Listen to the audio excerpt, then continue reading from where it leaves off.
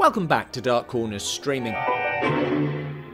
As you'll know if you've watched our School of Corman special, Dementia 13, which you can find on YouTube, Dailymotion, Plex, etc., was the first solo directorial credit of Francis Ford Coppola, made with money, time, cast, and crew left over from Roger Corman's The Young Racers, on which Coppola was soundman. Corman agreed to give the young filmmaker a chance if he could come up with a contemporary gothic horror in the manner of Psycho, an influence also evident in Ronald Stein's score. Coppola pitched an idea that Corman approved, then turned out the script in three days, which may account for the dialogue. Now what do I do? Despite some lines that may have influenced Tom Petty, especially an American girl. You can tell she's been raised on promises. this is not generally a film in which the dialogue sparkles, I think you'll find that you're in quite the wrong part of Castle Haloran to find your room.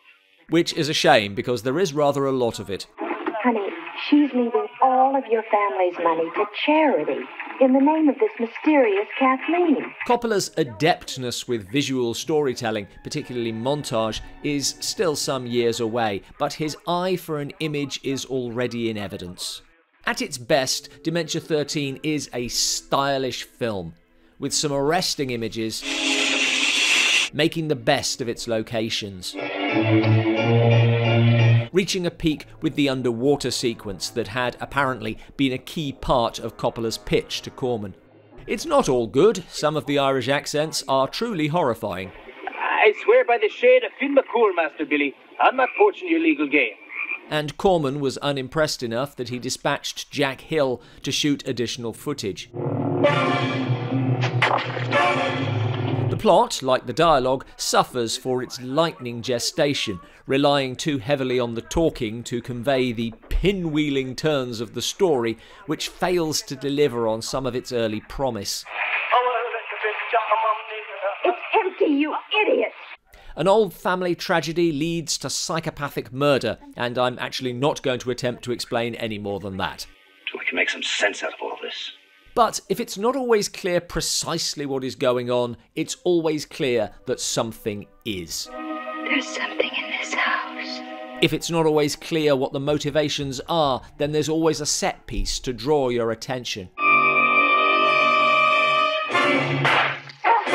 Most interestingly, while the pacing is out of the Corman playbook, the styling is far more individual. Despite the wedding scene, I think it would be a bit much to start drawing Godfather comparisons, but there is a directorial voice here. Remember the dreams? Faces in the shadows? The man climbing up your wall?